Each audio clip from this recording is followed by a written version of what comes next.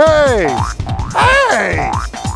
I'm Mr. O, here with another Oh, wow! moment at the Children's Museum of Houston. It's so tall. Yeah.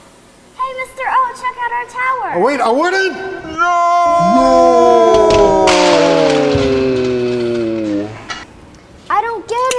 Did it fall? Yeah, we stuck the bricks together as tight as we could get them. Well, it's not about how tight you put them together. It all came down to your foundation. Our what? Your foundation, the base of your tower. It wasn't wide enough to support the height of your tower. Think of it like this. It comes down to center of mass. Center of mass is the point along an object where, if you look at all the matter in the object, the center of all that matter is located.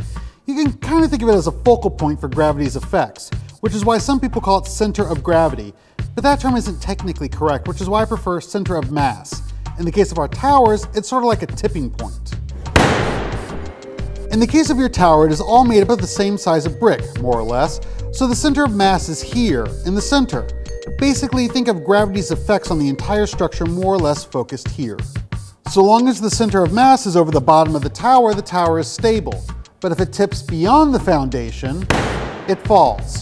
However, if we build a tower with a wider foundation, then the center of mass shifts downward because there's more mass at the base of the tower. Because the center of mass is lower and there's a larger foundation, the tower can be tipped further before the center of mass is beyond the foundation and it falls. Let me show it to you a different way. Before we begin, remember, science is fun, but it can also be dangerous, so always have a responsible adult helping you. I'm challenging my assistants to build the tallest cup tower. For this, you'll need cups. The rules are simple. You can only stack the cups mouth to mouth. Or base to base. You can stack them like a pyramid.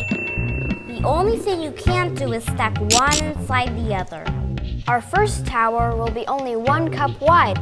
Let's see how tall we can get it. That tower was 11 levels tall! Let's try making one with a wider base to start.